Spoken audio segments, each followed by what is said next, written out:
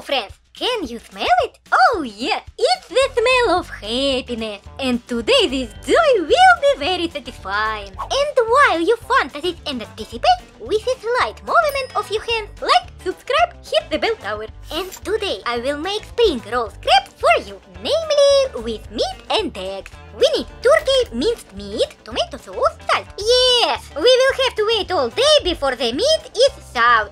During this time you can watch full amount of videos on my channel. So, meat, chpunk, sauce, chpunk. We mix, salt, cook eggs, stew the meat in a skillet. Voila! It remains only to wrap the meat in a crepes and the crepes in your mouth. It turned out very tasty, satisfying and fast on this channel. Try too and joy will come to your home. The result is great pancakes that crack with happiness to be eaten. Bon appetit!